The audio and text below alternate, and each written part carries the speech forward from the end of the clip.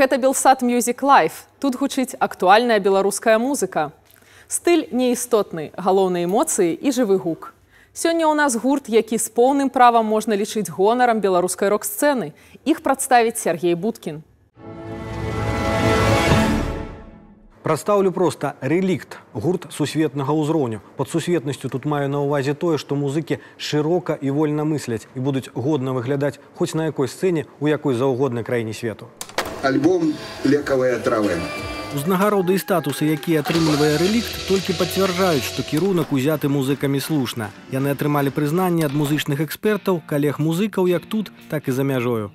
Альбом гурта рэлікт вельмі добра зроблены. Я ўражаны, добра аранжаваны, запісаны, прыемныя адчуванні. Музыка такого кшталту, як у гурта рэлікт, нярэдка ў свеце робіцца культавай. Ось за такія творы меламаны плоцяць жывыя грошы, таму што гэта вібрацыі высокіх узроўняў. Іх музыка надзвычай дзіўная для нашых часоў, але разам з тым такі вельмі арганічны і жывы запіс сустракаецца не кожны дзень.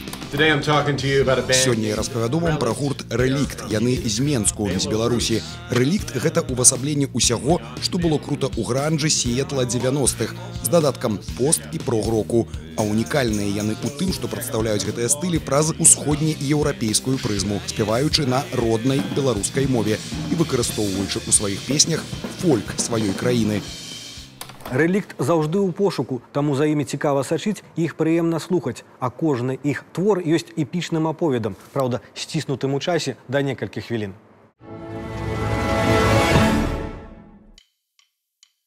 Ходила голота, кругом болота, ты краче, ты краче.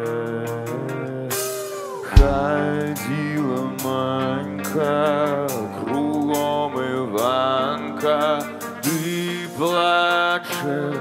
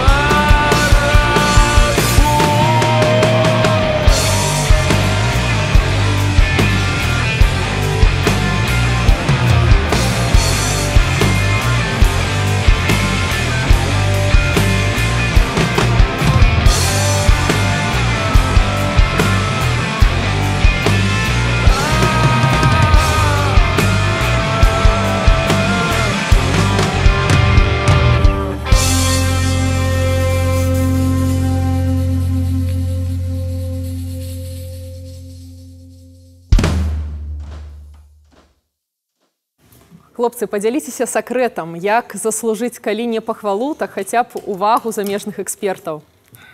Сакрэт вельмі просты насамрэч. Рабіць сваю справу аддана шчыра гэта складана. Гэта насамрэч складана. І другое гэта працаваць тым матэрыялам з таго месца, дзе ты нарадзіўся. Але я ведаю аднаго чалавека, які адкажа нам дакладна так Алесь? Алесь далучайся я думаю што табе будзе больш зручна размаўляць з намі. Дзякуй.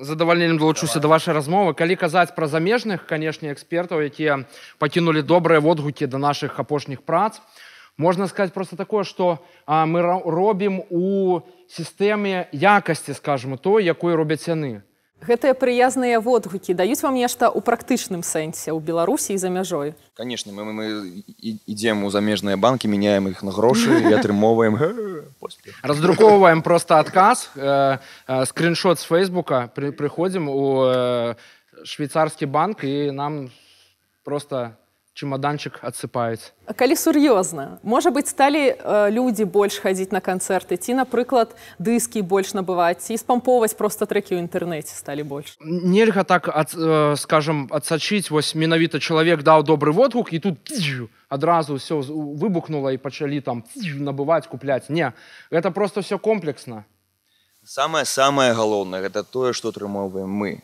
Мы ведаем што ёсць людзі за мяжой якія кажуць гэта класна і мы такія все мы, мы гэта, канверціруем гэта у дапамін эндарфін скажем так і ведаем што все робім правильно і будзем ну, скажем гэтым накірунку ісці далей. Ці задавальняе вас сённяшні ўзровень і статус. Ёсць у чалавека патрэба заўжды аднаўляць нейкія свае пачуцці гэта ну прыродна закладзена ў чалавека Таму нам як звычайным людзям патрэбна заўжды рухацца і мы гэта робім мы маем насамрэч самы лепшы статус. Мы играем тое што мы жадаем вось і атрымоўваем атрымоўваецца вельмі вельмі вельмі шчыра гэта самае галоўнае таму што ёсць шмат музыкаў які думаюць як нам так зрабіць каб гэта было класна? Мы так не думаем. каб, каб набылі. Каб набылі. гэта будзе прадавацца. Ну не то што нас усё задавальняем мы нічога не хочам але у нас няма нейкай гістэрыі гістэрыі типа ой ой ой ой нешта не так пацаны хлопцы все нормально працуем у зараз пачынаем афіцыйна аб'яўляю пра то што пачынаем працу над яшчэ над супер новым матэрыялам які яшчэ ніхто не чуў. І гэта будзе нешта проста. Такога яшчэ ніхто. кажа над перад кожным альбомам што гэта будзе нешта але нет так, так, так насамрэч адбываецца. Кожны наш альбом гэта нешта супер Я згодная з тым, што ў гэтым сэнсе алесь такі прарок, бо мінулыя вашы альбомы нас не расчароўвалі. Дзякуй.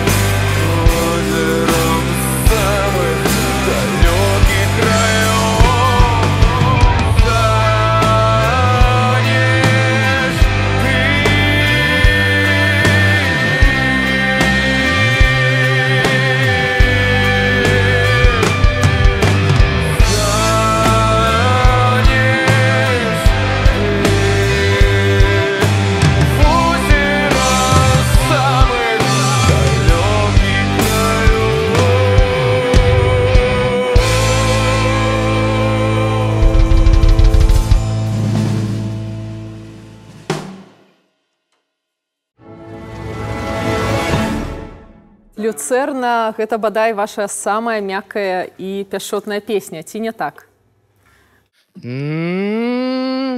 Бадай.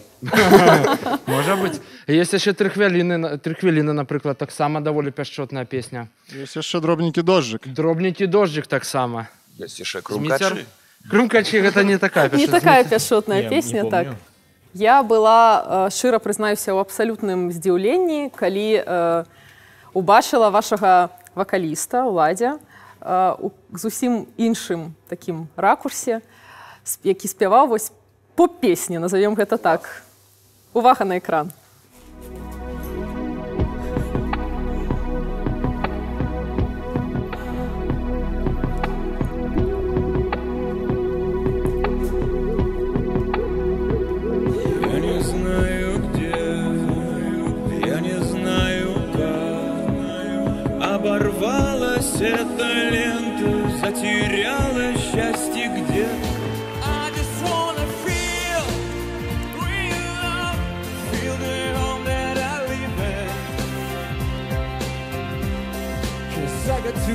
life running through my veins, going through waves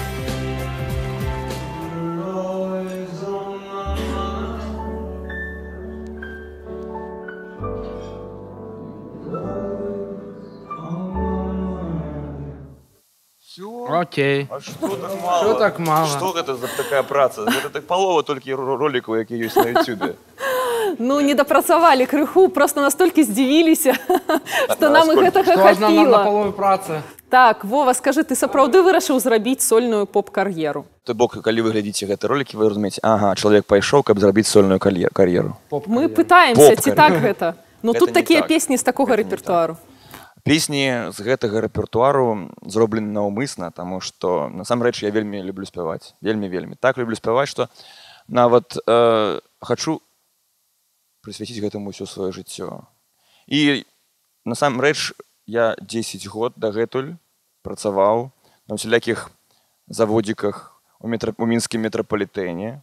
Вось і І гэта ўсё спяваў. і, і, гэта ўсё, і гэта ўсё спяваў вы не у бачылі. метро каб я мог просто спяваць нічога не рабіць на жаль умовы беларускія не могуць гэтага дазволіць Вось, пакуль я- што я- пакуль пра- прабач Вова я важную хочу думку сказаць пакуль рэлікт не з'яўляецца нацыянальнай культурнай каштоўнасцю і нам не на рахунак як як за добрыя каментары ад білігулда і каго-небудзь грошы не пералічваюць. Як астатнія паставіліся да такога твайго выбару як ніяк ты з'яўляешься тварам гурта рэлік? Не ведаю. Давай у іх запытаем. Як вы паставіліся хлопцы? Ну окей зразумелі і даравалі не ну, ну, а, ну а што калі чалавек лепш за ўсіх спявае што яму трэба хаваць гэты свой талент ад людзей гэта не перашкаджае працы ў гурце мы пішам песні ствараем новы матэрыял у нас ёсць планы. Ну, шмат ездзім на розныя канцэрты ну. То бок прыхільнікам гурта няма падставаў хвалявацца што гурт э, не дай Божа разваліцца.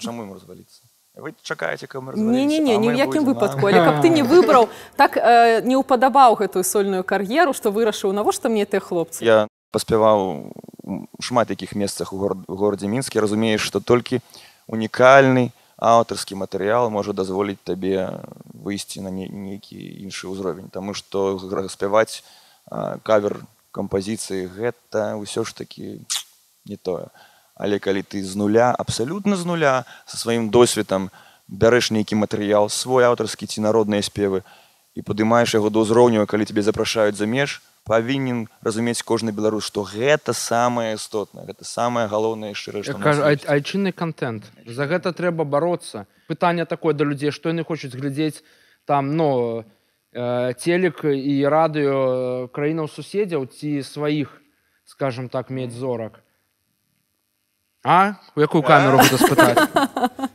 вы хочаце вы не хочаце каб былі свае беларускія зоркі ребята падтрымлівайце сваіх хадзіце на канцэрты беларускіх гуртоў выканаўцам розных накірунках рок рэп фолк. На кожна але на сваё і на беларускай мове канешне пажадана калі напрыклад вас я вельмі на гэта спадзяюся прызнаюць нацыянальнай каштоўнасцю вы гэтага вартыя і вы не мусіце больш працаваць напрыклад завяжаш з каверамі гэта пытанне ну, такое то бок сканцэнтруешся толькі на творчасці гурта рэлік конечно конечно няма ніякіх пытанняў тады я вам пажадаю каб гэта хутчэй адбылося каб вы сябе комфортна адчувалі ў гэтай музычнай прасторы а пакуль прапаную выканаць яшчэ одну песню. А зараз мы выканаем песню якая таксама мусіць быць беларускай культурнай каштоўнасцю. Песня называется сваточки гэта народная песня якую мы самі у мястэчку халопенічы Марыя семёновна амос у бабулька нам яе заспявала дарэчы у youtube на нашем канале ёсць гэта песня. А зараз мы будзем выконваць у эксклюзіўнай манеры з таким цудоўным інструментам як электрамандола даволі унікальнае выкананне зараз вы пачуеце і зайсці на наш канал поставить лайк подпісацца на яго зробім абавязкова